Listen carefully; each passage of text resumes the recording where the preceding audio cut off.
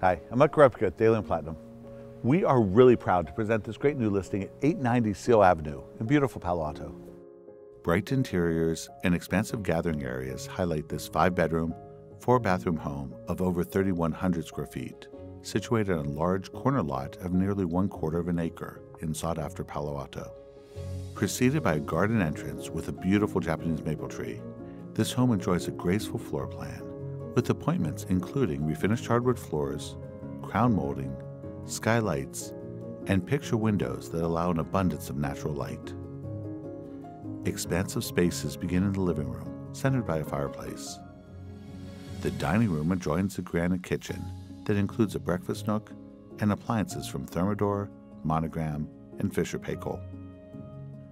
A spectacular brick fireplace, flanked by custom built-ins, centers the family room, which also doubles as a theater featuring a wet bar, surround sound speakers, a ceiling-mounted projector, and a 92-inch pull-down screen. This sizable primary suite includes two walk-in closets and an ensuite bathroom with a shower and jetted tub. Plus, you will love the glass door opening to a deck with a hot tub.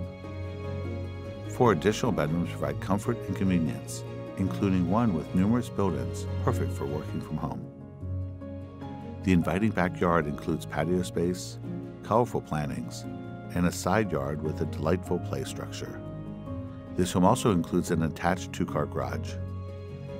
This great location is just moments to both University Avenue and Stanford University.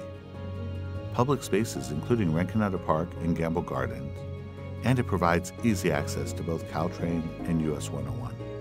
Children may attend acclaimed schools including Walter Hays Elementary, Greene Middle, and Palo Alto High. This home also sits near all of the world famous employers of Silicon Valley, and it's within easy reach of everything that San Francisco and San Jose have to offer both of which are less than 40 minutes away. I really hope you've enjoyed this tour, but there's no way that we can capture all the great features of a home like this on a video.